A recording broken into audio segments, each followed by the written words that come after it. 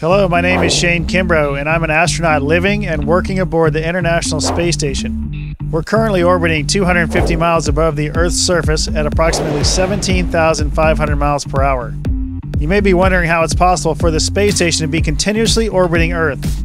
Well, today we're going to answer that question and explore centripetal force in the microgravity environment of the space station. Let's get started. Before we dive into centripetal force, it's important to look at Newton's first law of motion, which states that an object will continue moving with a constant velocity along a straight path unless acted upon by a net external force. This means that the space station will move along a straight path if it weren't for one key external force acting on it Earth's gravitational pull. Another name for this external force is centripetal force. A centripetal force is any net force that keeps an object moving along a circular path.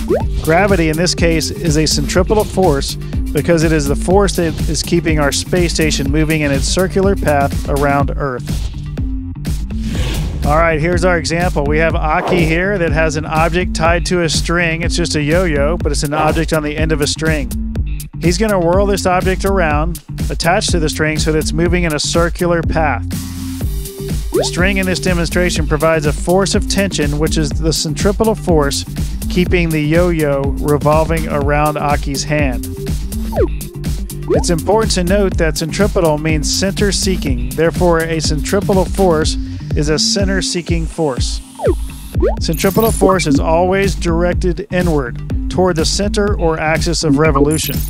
This is because it's the force of tension from the string, pulling inward that keeps the yo-yo revolving around the axis of revolution. Now Aki's going to set the object moving in the circular path free and remove that centripetal force by releasing the string. As you saw, once the tension from the string or centripetal force was removed, the object continues to follow Newton's first law of motion.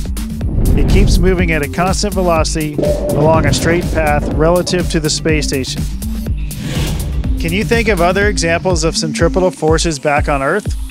To learn more about centripetal force, use the corresponding classroom connection to conduct your own experiment and discover other ways centripetal forces play out in your everyday life.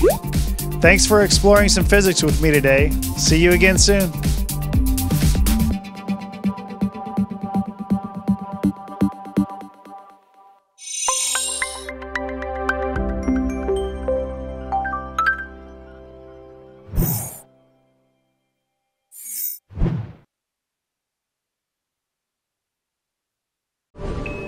Subscribe for more space.